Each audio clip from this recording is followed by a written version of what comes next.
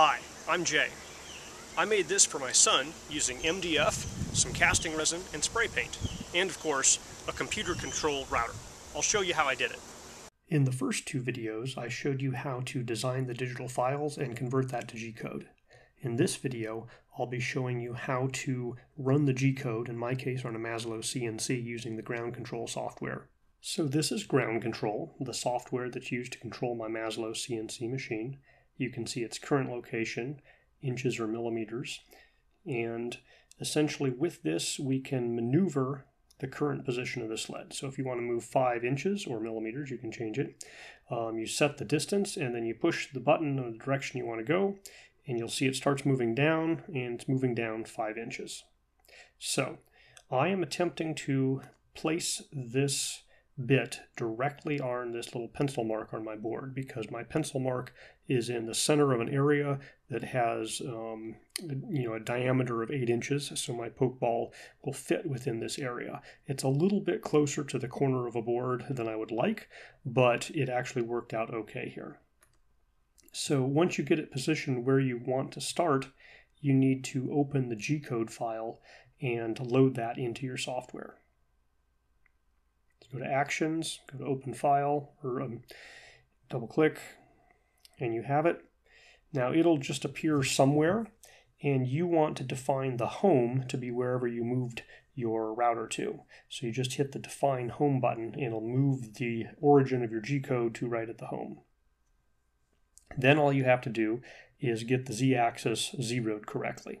Um, it might already be done if you've done this already.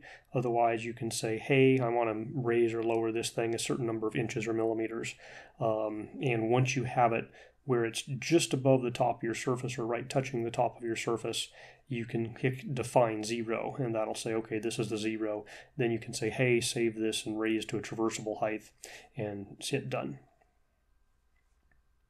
Okay, and at that point, you're ready to hit the big green play button, and that'll play your G code and cut things out, which takes a while.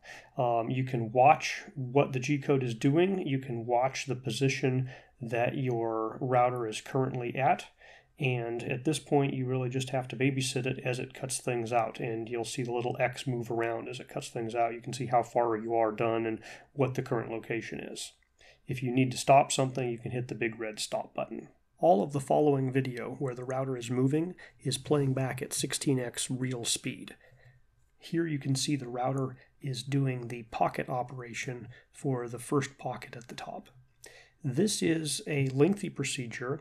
The router is actually going much slower than it's shown in the video here, and mostly you're just sitting back and watching it, monitoring, making sure nothing's getting caught, nothing's breaking. Um, I wouldn't leave this router unattended. You might sit on the other side of the room and do something else, just keeping an ear on it, but you definitely want to be close enough to be able to shut the power down if things go wonky. I've jumped ahead to near the end of the procedure where we are doing the profile operation to cut out the poke ball. The sled is getting a little close to the corner of this board. Everything worked out fine, but I had my finger on the edge here just to make sure it wouldn't start wiggling off to the side. Normally you'd be cutting things out a little bit nearer the center of your workpiece. So here you can see the final part, and it's still attached to the board by these tabs, which you can see in the back view a little clearer.